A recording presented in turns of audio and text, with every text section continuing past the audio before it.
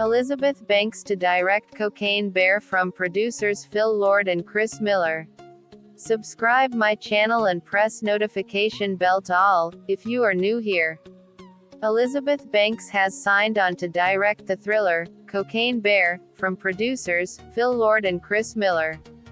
The filmmaking duo, Lord and Miller, are best known for their work on animated films, Cloudy with a Chance of Meatballs, The Lego Movie, and Spider-Man, Into the Spider-Verse, while their live-action resume includes, 21 Jump Street and its sequel, 22 Jump Street.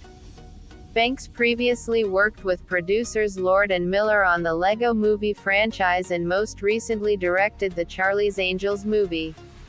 Now, Per Deadline, Elizabeth Banks has found her next directorial project in the thriller, Cocaine Bear, for Universal, reuniting her with producers Lord and Miller. The film, written by Jimmy Warden, the babysitter, Killer Queen, will tell the unbelievable true story of a 175-pound black bear that consumed more than 70 pounds of cocaine, a story that was reported by the New York Times in 1985. During a drug run from Colombia, former narcotics officer turned smuggler, Andrew Thornton, dropped a duffel bag filled with cocaine from an airplane over Chattahoochee National Forest, where it was devoured by a bear.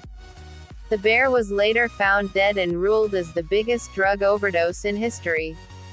The bear was even stuffed, nicknamed Pablo Escobar, and turned into a morbid tourist attraction. Though this outlandish true story which the film is based upon sounds like fuel for a bizarre comedy, Cocaine Bear will reportedly be a character-driven thriller, and begin filming this summer. Other than this bear-centric thriller, Banks has a plethora of projects lined up with Universal. First, she will direct and play the lead role in The Invisible Woman. Banks will also star in an adaptation of the popular children's book, The Magic School Bus's Ms. Frizzle.